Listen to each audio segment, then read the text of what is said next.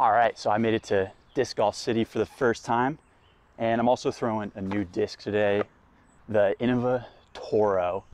And I'm on hole three here at Kilbourne, and I love this hole. It's like a real nice wide fairway.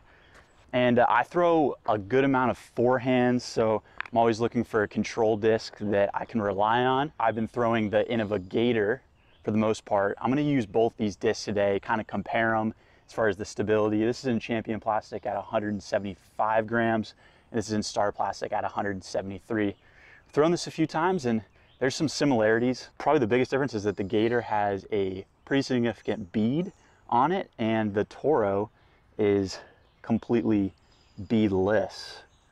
All right, Gator's up first. That's my benchmark. Throw it kind of nice and high.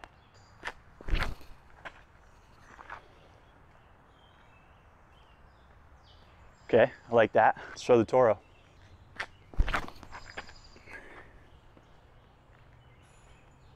So Toro ended up here. Here's my Gator, pretty similar. Let's try like a flex shot, backhand, try to get it to that white basket. That was not enough anhyzer. okay, it's pretty overstable. Let's throw the Gator, same line, but uh, try to put a little more anhyzer on it.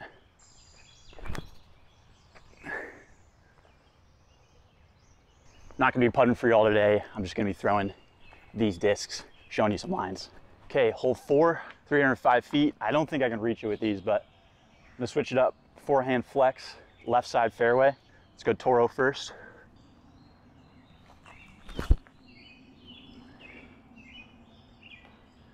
That is in the fairway. Gator.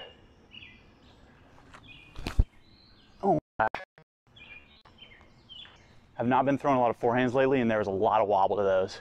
That's me, not the disc. All right, probably got like 120 feet here. Throw some short approach shots. Gator. It's a little bit closer with the Toro. I'll just throw a little soft anhyzer, see how it floats in there. Yeah, that's a little better touch. By the way, this course so far, absolutely sweet. Wish I could play it every single day. Um, and I'm just lucky to be here right now. Look how lush it is in like the walkways between holes. This is this is why I love disc golf so much. Is just getting out into the trees. All right, hole five is 285 foot par three. Another opportunity to kind of throw like a high flex shot. Let's go Gator first. Ooh, that could be pretty good. Probably short, but that was more of just like a high flat shot than actual flex. Oh my gosh. Again, it's really stable, that Toro. I'm only like 90 feet here. Normally I just like throw a putter, but let's throw this instead. Try to land it softly. Hole six, 354 foot, par three. I probably can't get there with these again, but I'm gonna try to throw a high anhyzer and see how much I can get these to hold an angle. So I'll go gator first.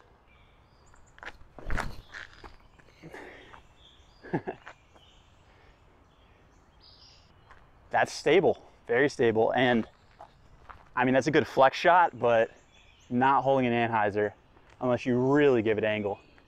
Let me try to give this one even more angle.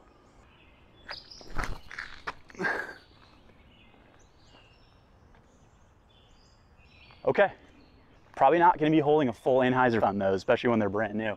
So both those shots ended up really close to each other.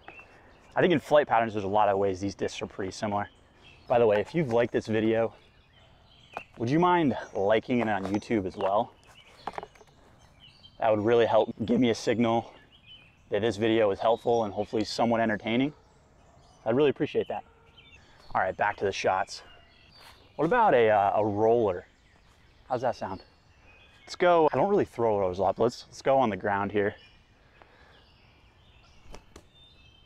Ooh, that's kind of in the direction of the basket. Not gonna succeed by hitting roots. All right, 245 feet, hard right. Let's just see how far right we can get these discs to go. Let's use that wide fairway give it a little bit of height. Where's the basket? I'm just gonna follow the fairway.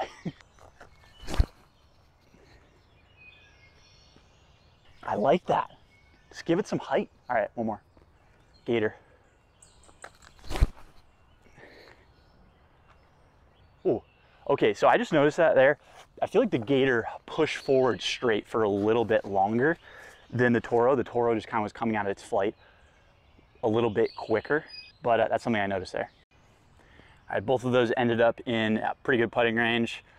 I do feel like, as you can see, the Toro's a little bit shorter. The Gator, like I feel like I threw the same shot there. Like I said, the Gator just pushed forward a little bit further. Hole 10, par three, 260 feet. Another shot you want to kind of just go straight a little bit, finish right. Kind of going to follow that dirt path a little bit with a flex shot. I like that.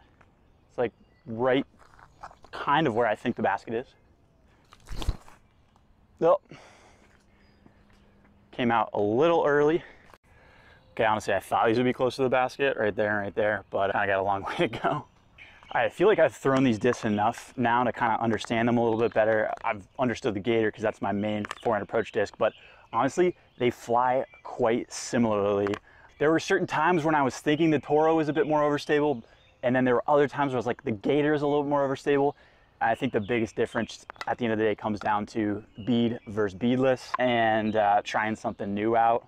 But at the end of the day, these discs have similar flight characteristics. And I think that, like I said, what it comes down to is how does it feel in your hands. So thanks for watching y'all. Have a good one.